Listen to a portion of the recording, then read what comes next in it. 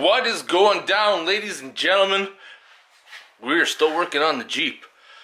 Doing some videos on the other channel. Today, we're going to focus on the engine side. We knew from a long time ago, probably about four years ago, that the engine was already getting weak. So, I pulled up that video and I got the compression numbers off of it. The compression in the Jeep should be between 120 and 150 four years ago 130 2 and 3 121 120 during that time we also supercharged the engine. So I'm very quite curious to know what it's gonna be like now. How much has changed after it's been supercharged? Now I'm gonna do is pull these damn spark plugs out. Oh yeah this one's gonna be tricky eh? With the special special spark plug Ah, it's not going to work on that one, unfortunately. Ah, came off. Oh, the special tool won't work in these holes. Damn it. It's going to give them the old twisteroo. And then pull them off. And then we're going to blow them out. Number three is the one we effed up and redid. See if number four will come off nicely. Yeah. Not used the air compressor in a while. Still got air. It's still holding air. Uh, not too bad for water. There's a little bit in there. A little bit in there. It's not good. Let's blow the spark plug holes out. Hold any crap. Last thing we want to do is get that stuff on our engine. You know what I'm saying? You know how strong this engine is. Once again, this is where dunnage blocks are your friend.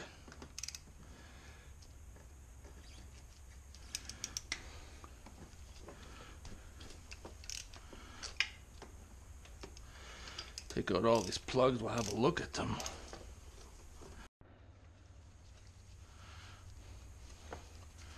This is where Butterfingers pull them all out. Oh yeah, that one looks really good actually. Way better than number three.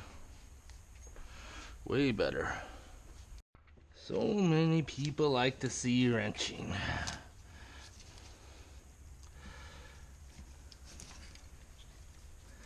They like to see wrenching. I wonder if they like to do it. How's that spark plug look? looks alright, actually. You know what? I better do this now. Because I'm most likely going to forget. And that's to disconnect the coil. Done. Don't disconnect the coil. Then the spark plug wires are going to be bouncing off everywhere. Come on, you little bastard. Why? Why do the ones in the back always cause so much trouble? Didn't get enough love as a child? We're gonna yard out the fuel pump relay so we don't like fill the engine full of fuel. That wouldn't be good. So I got all the spark plugs pulled out. I don't know if the camera's gonna be able to pick it up, but can you see? Anyways, that's probably about the best you're gonna be able to get. Now it's out of focus again. Anyways, it looks like little pieces of metal have uh, slowly welded itself on there over time. It's interesting. What I'm really trying to say is that probably chunks of the engine are probably breaking apart and fusing themselves to the spark plugs. This engine's treated me pretty well. It has uh, definitely been taking a beating.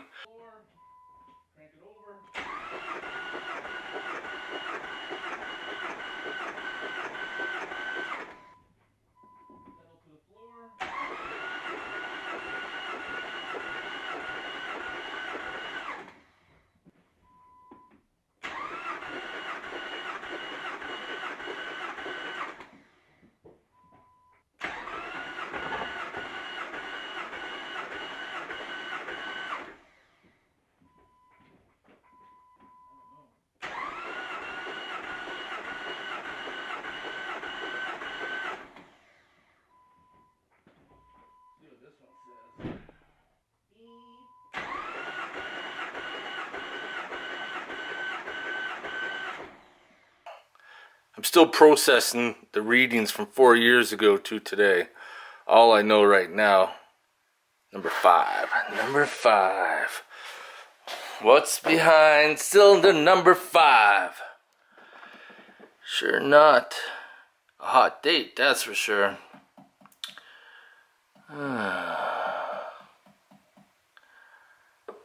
Wonder how much it would cost me to get the head done and then just buy a set of rings and an oil pump and throw it in.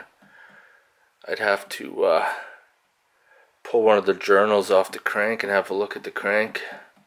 See what it looks like. Cheaper the better.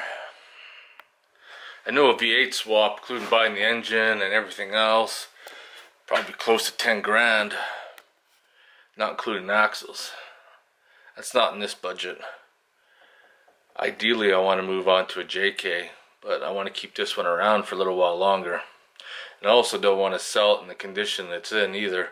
Need need whoever is going to buy it in the future to feel good about it. I want it to be up to par. Not fucking rip somebody off. Anyways, I got some things I got to do tonight. We'll come back out tomorrow and uh, we're going to do a head gasket test. Well, back in the garage. Gonna finish this video off kick the Jeep out.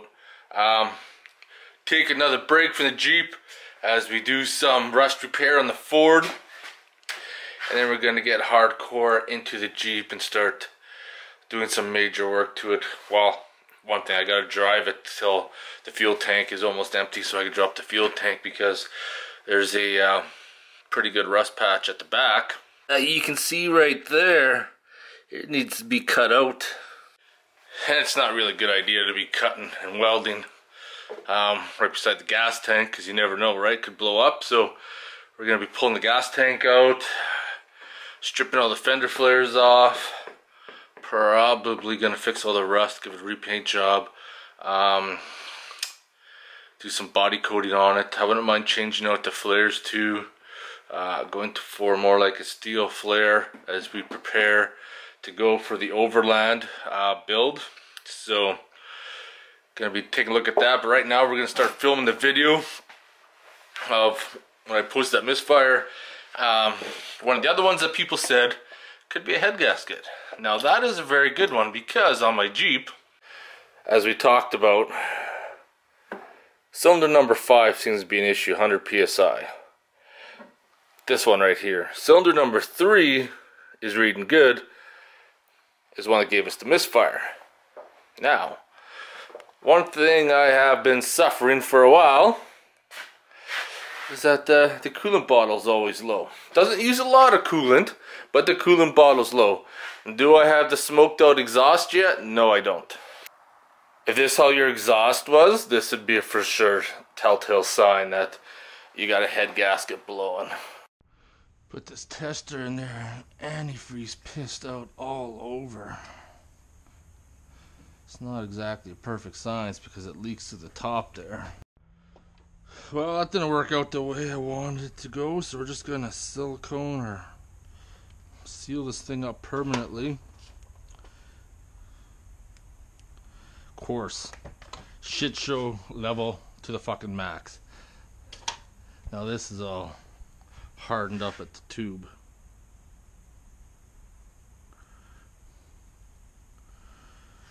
Fuck it. What we're gonna do. The fuck are some snips? Will that work? Really? Snips that don't even touch together. Cut it though. Perfect.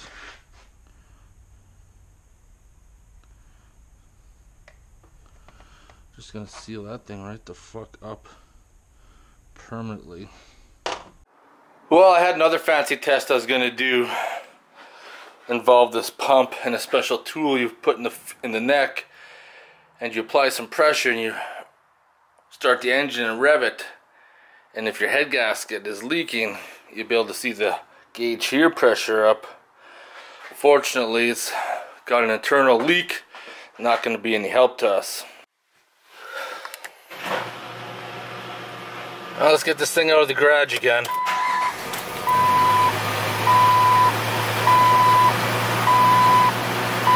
You know, for that one cylinder that seems to be giving us issues, it still runs pretty good. Even with that exhaust leak, I kind of screws around with my air-fuel ratio. This Android stereo has been holding out pretty good too. A lot better than what the last one did in the Ford. You can hear my belt squeal because they got antifreeze on them. I need to burn up almost a tank of fuel in the next week. Shouldn't be too hard. Drive around the block twice and that'll be it. Oh, the garage is empty again for a few days. I think it's motherfucking beer time now. Got some rolling rock. Alright, motherfucking beer time. Sorry about the short video, but we're moving on to a different project and it really won't go along with this one. Uh, plus, me and Aubrey are going on an adventure in a couple days. So, we haven't hung out that much this past while. I've been really busy trying to get some stuff done around the house. And uh, definitely having the garage freed up has made a huge difference in getting things done. I would not have been able to do the timing in the back alley. It would have been a struggle trying to do it outside in the yard, in the sun. You know, contaminants being easily exposed to the engine. Yeah, you know, as much as some of you would have liked to see the car finished, just wasn't going to happen. Sometimes you gotta ditch the dead weight. It's like a wife that pisses you off. Why are you with her? For the extra paycheck? Because it ain't worth the hassle. Kick her out, send her packing, move on to a new life. I'll talk to you guys later.